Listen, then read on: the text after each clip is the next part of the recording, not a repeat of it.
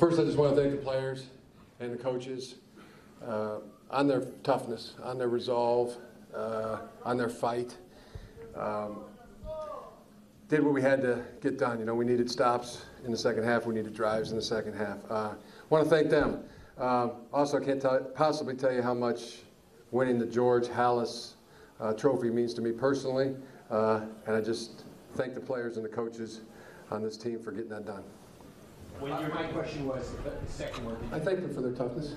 I, I understand. The resolve. You're doing great. Did you build them to be that way? This team that way? This is a, it's, it's a, anytime you win a game like this, it's a team effort. Uh, everybody does a little, it adds up to be a lot. Uh, you know, this wasn't built by, by any one person.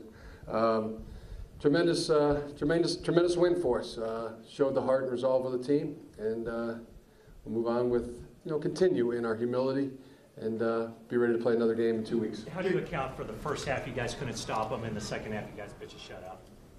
Uh, we, we needed to cover better and, and rush better in, in the first half, and uh, they were doing a perfect job. Uh, you know, Matt Ryan and his receivers were perfect.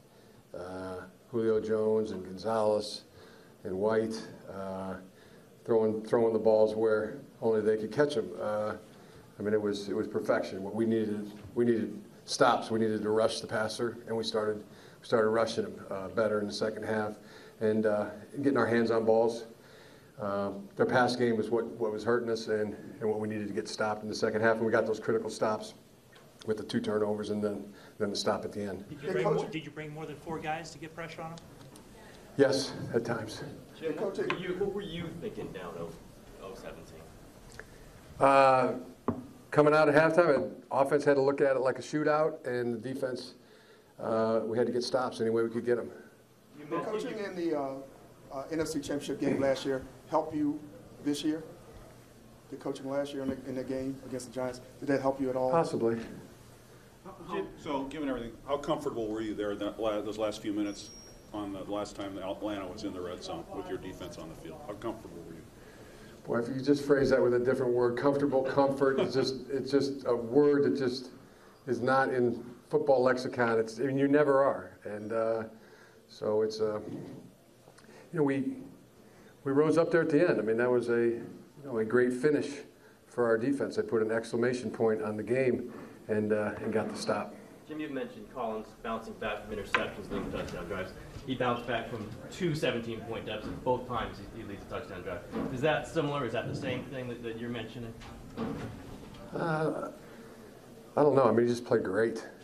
He played great. Uh, I don't even know the words to say it. I mean, he, it was a great performance by the quarterback and uh, and many others. Uh, you know, there was everybody. Everybody chipped in on this one, uh, played their hearts out, and you know, thank you to them. Were they playing him to run? Is that what opened up some other stuff? Yes, yes, uh, that uh, created some other opportunities in the pass game and the and the running game for our running backs. What did you think of him, his attitude, his, his mood through this tough, certainly opening moments of this game? Well, he just competes like a maniac all the time. Uh, in practice, in games, it's it's always the, the same. You know, from my from when I'm looking in through the face mask, that's that's what I see a guy doing. What can you say about Frank Gore? Uh, I really believe he'll be in the Hall of Fame someday. Uh, he is the one of the greatest competitors we've ever met. Um, tremendous performance by Frank. So a lot of your guys go right to Justin once the game was over. Yeah. Did you think about him right when the game was over? Did you, did you see that celebration? On the field? No, I didn't see it on the field. Do you think about him when, when he's, he's going to Super Bowl? Yeah, uh, this is wonderful. Thank you to Justin uh, on behalf of the San Francisco 49ers. Um, everybody should have a Justin Smith. Everybody should. I'm glad we do. Jim, was it an easy decision to have Crabtree active for this game? Yes. Given, given the investigation, did you guys look into it, or did that not matter at this point? Um, I have no comment on that. You know, we, we support Michael as our teammate.